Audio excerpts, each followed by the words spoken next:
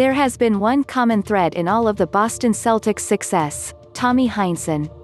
A two-time Hall of Famer as a player, coach, and Hall of Fame broadcaster in the minds of Celtics fans, Heinsohn was part of all 17 championships and is as much a symbol of Celtics mystique as the banners and parquet floor. An eight-time champion as a player, a two-time champion as a coach, and a beloved broadcaster for his unabashed support of all things Green Team, Heinsohn was Mr. Celtic. He passed away on Monday at the age of 86. Tommy is the true definition of what a Celtic is, said former Boston coach Doc Rivers. Echoed former Celtics center Kendrick Perkins, he's that DNA. When you think about Celtics pride and what it means to be a Celtic, you think of Larry Bird, Red Auerbach, but then the next thing comes to my mind is Tommy Heinsohn. Plucked out of Holy Cross as a territorial pick in 1956, Heinsohn earned six All-Star nods in nine seasons before a foot injury ended his playing days at age 30. Heinsohn recorded 427 wins as Celtics coach, the second highest total in team history behind only Auerbach, while guiding Boston from 1969 to 1978. For the past four decades, Heinsohn was a ref scolding color commentator who never hid his allegiances in his role for NBC Sports Boston. Yes, Heinsohn truly bled green.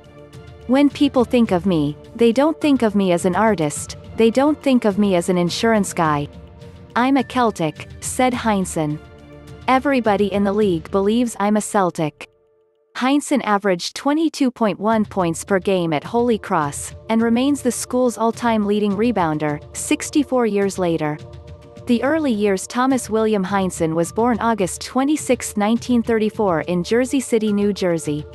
He caught the basketball bug at age 10 after his family moved to Union City and Heinsohn befriended Perry Del Purgatorio, a local high school standout a few years his elder who would play college ball at Villanova.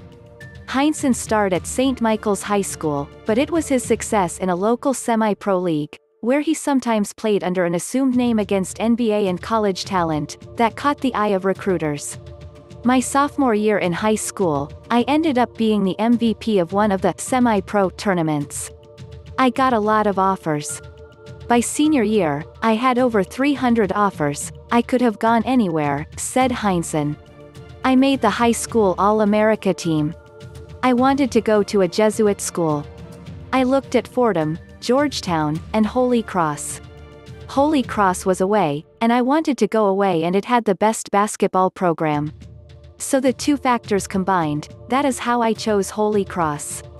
The Crusaders won the NIT championship in 1954 with Heinsohn and Togo Palazzi at the helm.